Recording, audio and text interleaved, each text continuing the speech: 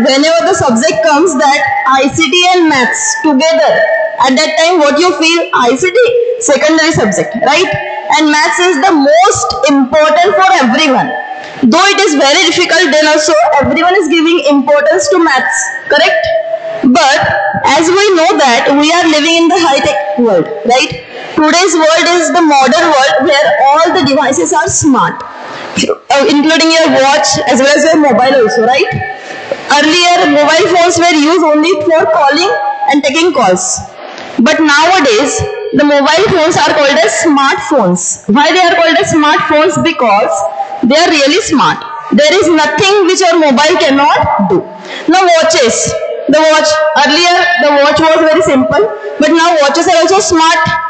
So ICT and maths classic twins. Now, do you really think that these two subjects are twins or same? Because there is a difference. Obviously, though because these are the two different subjects, so obviously the difference will be there. But the the heart of these two subjects lies in the logic. We know that maths means calculation, computer means also calculation, not calculation actually, but applying our logic. Now whatever the applications, softwares we are using, all the applications and softwares have logic. Do you agree with me? Logic. What is logic?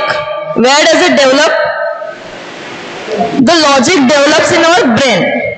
So the question is how these two subjects are related with each other, ICT and maths. Now, when this question comes, there are so many examples from which I can explain that these two examples are, these two subjects are closely related with each other. The first example is, turn the slide now. Now say there is a relationship between human mind, modern computer and mathematics. Because we know that human brain logic develops and using that logic only we can solve mathematics examples as well as the computer programming, web designing, application designing, everything depends on the logic only. Correct? Now, th there are another examples. Now, in front of you, you can see the two images. This is abacus, which you might have learned in your childhood, right? And this is the calculator. Nowadays we are not using this calculator because all of us are having smartphones or we are doing the calculations in mobile only, right? Now आप लोगों ने कभी सोचा है कि ये जो calculator है it is a small device, calculating device and abacus was the first calculating device. Abacus क्या था? First calculating device था which was designed in 300 to 500 BC before Christ. Can you imagine? कि कब उन लोगों ने इतना लॉजिकल थिंकिंग किया था और ये एबेकस डेवलप किया था and abacus was the first calculating device and this is the modern calculating device but how this both are related this abacus also perform calculations this also perform calculation now where is the ict where is the ict who will tell me where is the ict in this yes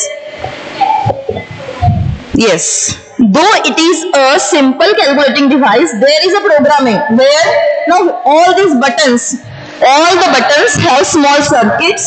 In the small circuits, processors are there. And for processor, there was someone who has written some coding, some instructions. And just because of that, जब भी आप plus का button press करोगे और numbers provide करोगे, it will perform addition, है ना? Otherwise क्या रहता था अपने छोटे बच्चों के खेलने के मोबाइल पे देखे होंगे है ना आते हैं उसके पिंक कलर के रहते हैं उसमें गाने वाने बजते हैं वही। सो so, कोई भी बटन प्रेस करो अभी गाना बजता। बिकॉज़ में रिकॉर्डिंग रहती है। बट ये कैलकुलेटर में वैसा है क्या? नहीं बिकॉज़ यहाँ पे प्रोग्रामिंग की है। आप लोग सोचो कि अगर ये कैलकुलेटर के अंदर प्रोग्रामिंग नहीं रहती थी तो ये चलता था क्या काम करता था क्या? नो ये भी छोटे बच्चों के जैसे एक खिलौना रहता था। But it is not a toy it is the most important आप कहीं पे भी जाओ अभी आजकल नहीं देखने को मिलते बिकॉज़ सारे मॉल्स में जो भी स्मार्ट शॉप्स है वहाँ पे आपको क्या दिखता है? कंप्यूटर्स से ऑनलाइन कैलकुलेट हो जाता है बिल। बट फिर भी जो लोग ये चीज़ें नहीं यूज़ करते they are using calculator specially gold gold की अगर ज्वेलरी आप लेने जाओगे तो वो लोग कैलकुलेटर पे कैलकुलेट करेंगे। और इतने फास्ट करते कि आपको समझ में भी नहीं आएगा क्या कर रहे हैं। और आप पूछोगे भी दो तीन बार तो ऐसे घुमा फिरा के बता दे कि हमारा कुछ ना कुछ तो चूना हमको लगा ही रहते हैं हंड्रेड परसेंट है ना? Are getting this how these two are related? Now the next example is excel see, in excel also, excel is a spreadsheet software where we are doing calculations calculations with the help of ict do you agree with me in all these things? Now but though though there are so many applications of ict which helps math uh, children or students to learn maths nicely you ignore your subject right? Now i will tell you a last topic and then i'll end. Don't clap in between please okay? So see what is my point? Ki from class 1 to 8 ict is the secondary subject for you, right? और suddenly जैसे आप tenth pass out करते हो eleven twelfth में आप computer science लेते हो। Y 200 marks है है ना? 200 marks 100 for practical 100 for theory और पता है प्रैक्टिकल के मार्क्स स्कूल कॉलेज से मिल जाते हैं। इट मीन आपके परसेंट हाई होने वाले हैं। देन जो जेई की एग्ज़ाम होती है, आप उसमें मैथ्स प्रिपेयर करते हैं, है ना? मैथ्स फिजिक्स बाकी सब्जेक्ट्स भी होते हैं but generally maths is scoring subject जिसमें स्कोर लेके आप किसी आईआईटी में अगर किसी का नंबर लग गया लकीली आप लोगों में से, है ना? तो क्या होगा? देर यू विल गो और फ़र्स्ट ईयर करने के बाद ही आपको ये समझेगा कि नहीं the most important field is computer science और आईटी और इतना सब होने के बाद आईसीटी को इतना इग्नोर करने के बाद फाइनली आप किधर जा रहे हैं? कौन सी फ़ील्ड में जा रहे हैं? कंप्यूटर साइंस इंजीनियर बनना है। मुझे आईटी इंजीनियर बनना है है ना? सो so, जो सब्जेक्ट आपको बचपन से सीखने को मिल रहा है। You should learn it from childhood only right फिर फ़र्स्ट ईयर में आपके टीचर क्या बोलेंगे? अरे तुझे प्रेजेंटेशन बनाते नहीं आता? ये तो तूने फिफ्थ में पढ़ा होगा सिक्स में पढ़ा होगा है ना?